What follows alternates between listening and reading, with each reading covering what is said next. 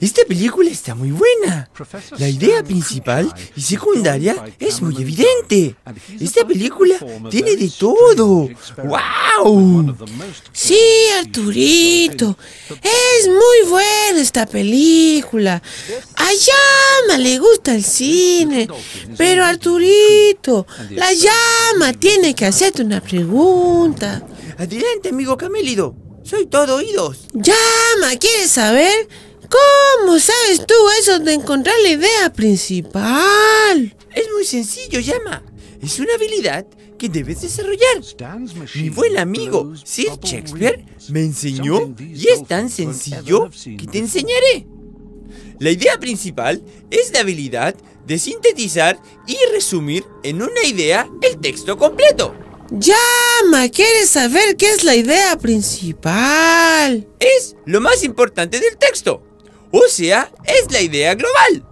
Y no necesariamente es el tema del texto. Uy, amigo Arturito, qué culto que eres. A la llama le gustaría saber más para llegar a ser tan sabio como tú.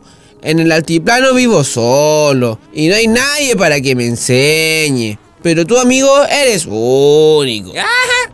No hay problema, compañero Llama. Para eso somos dos amigos. Llama, ¿quieres saber cómo se identifica la idea principal? Está bien, mi lanudo amigo.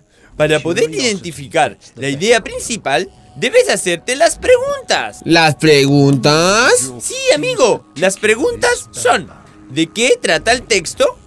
¿O de qué habla el texto? Y también te debes preguntar, ¿A qué hace referencia el texto? La llama también quiere saber cómo se extrae del texto la idea principal. Se extrae subrayando por párrafo. Después, resumir la información que cada párrafo entrega. Para así extraer la idea global La llama también quiere saber eso de la idea secundaria. Amigo llama. La idea secundaria también se llama idea complementaria. Esta entrega información adicional a la idea principal. O sea, que complementa con detalles, descripciones para ampliar la idea central. Arturito, para llama es un poco complicado lo que me explicas, ya que no entiendo nada. Uy, querido amigo, te lo explicaré con ejemplos, o sea, a través de un texto. El delfín es un mamífero que vive en el agua posee distintas formas de comunicarse. Este cetáceo emite silbidos ondulantes que tienen un significado específico. Además se comunica mediante actitudes corporales y roces de su piel, que es mucho más receptiva que la humana. Asimismo, la frecuencia y la altura de sus saltos proporcionan información particular a sus semejantes. Como podemos ver, el delfín es un mamífero que vive en el agua posee distintas formas de comunicarse. Esa es la idea principal. Mientras que la idea secundaria sería esta.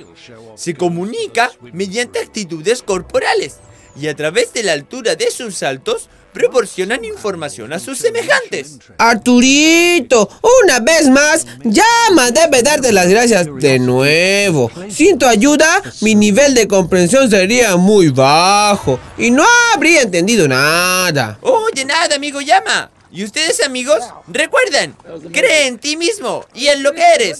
Sé consciente de que hay algo en tu interior que es más grande que cualquier obstáculo. Nos vemos en otra teleclase, amigos. ¡Adiós!